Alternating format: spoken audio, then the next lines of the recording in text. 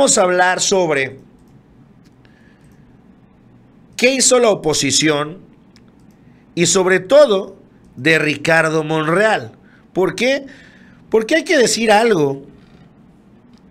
Eh, la verdad se vieron bastante miserables el día de ayer.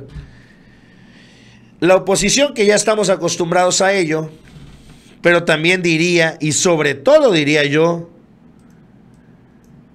Ricardo Monreal, él sí de manera personal, y Claudia Sheinbaum, las redes de Claudia Sheinbaum. Hay que quede claro, ¿eh?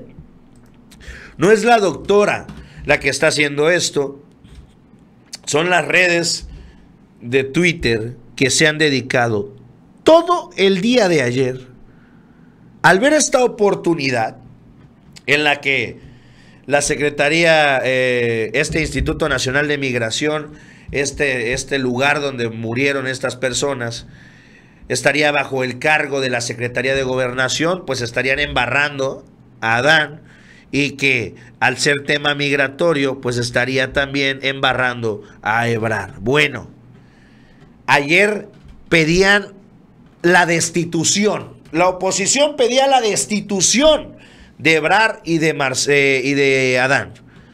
Así de plano. Y en el Senado de la República prepararon una celada para intentar tumbarlos. ¿Cuál fue la realidad? Que este señor que está acá, Adán, ya controla el Senado de la República y que a pesar de que Monreal quería llevarlo a la tribuna a que lo agarrara Xochitl, lo agarrara Lili Telles, Damián Cepeda y todos estos carroñeros y lo despedazaran ahí en tribuna o intentaran hacerlo, los morenistas que ya coordina este señor de allá no dejaron que pasara. Vamos a ver primero las posturas de la oposición. Vamos a ver lo que dijo Gustavo Madero sobre esta situación.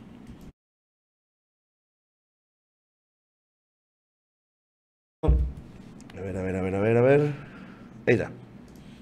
Listo. El tercero, que exhorte al gobierno a que revise todos los centros de detención. ¿A qué chingado no lo debe hacer todos los días sin necesidad de ningún exhorto? Esto es lo que están proponiendo. ¡Qué huevotes! ¡Qué vergüenza!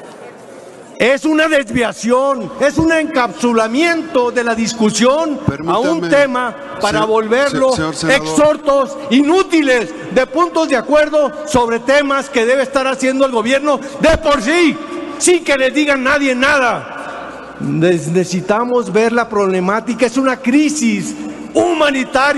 ¡Qué audacia! El tercero, que exhorte a... Ah, parte de lo que dice Gustavo Madero ¿Qué huevotes, dice? No, diría yo, ¿qué huevotes los de Gustavo Madero para venir a hablar de estrategias de seguridad y de esta situación, sobre todo cuando se comprobó que durante la dirigencia de Madero en el PAN, él le daba cash a García Luna. ¿Qué huevotes tiene el señor para salir y recriminar algo, eh? Mis respetos. Vamos a ver lo que dijo el senador eh, Emilio Álvarez y Casa sobre esta situación. Esto es un pedacito para que entendamos cómo se da la traición de parte de Monreal y cómo intentan acabar a dos corcholatas de un tiro. Nosotros mismos. Y no hay discusión. Tiene todos los elementos para ser entendido como un crimen de Estado. Es la consecuencia de la negligencia, la desatención y la simulación. El incendio, dice Amnistía Internacional, es consecuencia de políticas inhumanas que sistemática y estructuralmente violan derechos humanos. Aquí, en esta misma tribuna, se les ha informado y advertido de la cita que hice, la visita que hice en Tijuana, de cómo estaban los migrantes. Se les advirtió y se les informó de cómo estaban en Tapachula en los centros de migración se les informó y se les avisó de lo que estaba pasando con los venezolanos, los haitianos, los nicaragüenses en esta tribuna. Sistemáticamente se ha dejado pasar. Se violan los derechos, se separan a las familias, se maltratan a los migrantes, se les persigue, se les tortura. Eso es un crimen de Estado, carajo. ¿Qué tiene que pasar para que cambien la política? Lo que está pasando es una sistemática violación a los migrantes. 40 personas y nos traen un tour. Y ni siquiera una comisión. ¿Qué les pasa? Si encabezan la indignación, pónganse a la altura de la tragedia y dejen de minimizar los hechos. Lo que pasó realmente es que tratan a los migrantes como delincuentes. Los persiguen en todo el país.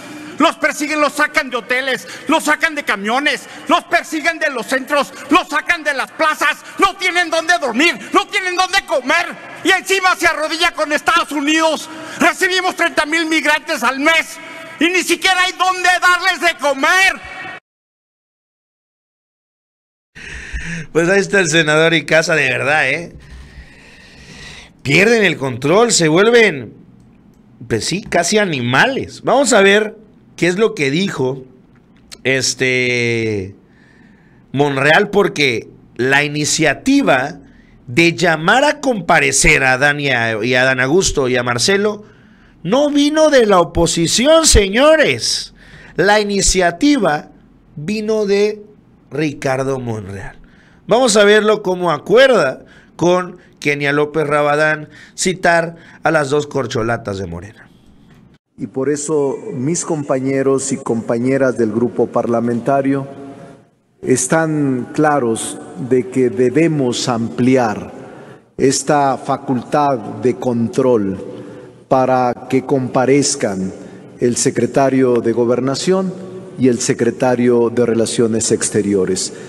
Entendió relativamente bien, pero quizá mi explicación no fue suficiente para usted. Pero voy a ser muy claro en el... Y por eso mis compañeros... De lo que dice Ricardo Monreal frente a eh, Kenia eh, López Rabadán y finalmente se da la votación y termina fracasando, porque aunque aseguraba Ricardo Monreal que él y la fracción habrían estado de acuerdo, la realidad es que no. Recordemos que Adán logra ya tener el control de una gran parte del Senado de la República, tanto de Morena como incluso de otras fracciones parlamentarias, con lo cual paró y cayó el boicot, la celada, en la Cámara Alta. Pregunto nuevamente si falta algún senador o senadora por emitir su voto. Sigue abierto el sistema.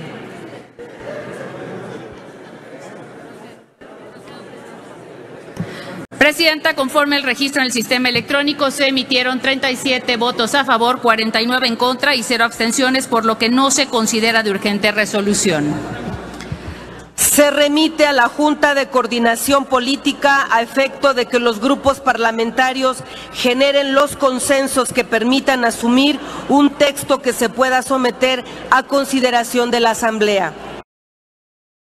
Pregunto pues cayó este intento de boicot ahí en el Senado y pues bueno, se rechaza la comparecencia de, eh, de Marcelo y Adán. Aquí sí lo que hay que dejar claro es pues el intento de hacer un dos por uno eh, en este tema, el intento eh, de Ricardo Monreal de nueva cuenta de detonar a estas dos corcholatas. Y bueno, se suma también a esta estrategia mediática el día de ayer de la oposición para descarrilar a Adán y a Marcelo.